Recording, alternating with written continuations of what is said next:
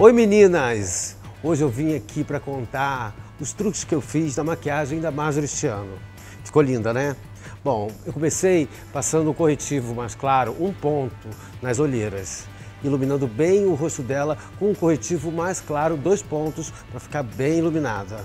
No meio do rosto eu comecei a usar uma base mais clara, na região da testa, no queixo, acima do maxilar e na região da maçã do rosto nas abas do nariz e no pescoço, eu passei uma base um pouquinho mais escura, para afinar mais o rosto dela, deixar esse ar mais sofisticado. Para finalizar, eu passei um pó bronzan para dar esse bronzeado bonito, que toda mulher gosta de ter. Os olhos, para não fazer o preto dessa vez, eu escolhi um marrom que deixa o olho também bem glamuroso, aprofunda e ilumina ao mesmo tempo.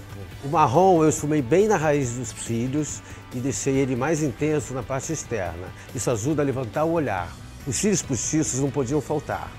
Coloquei os cílios postiços inteiros e depois juntei bem ah, um cílios natural dela com os cílios postiços para dar um acabamento perfeito, tanto em cima quanto embaixo. No meio do olho, eu clareei com uma sombra bem clarinha.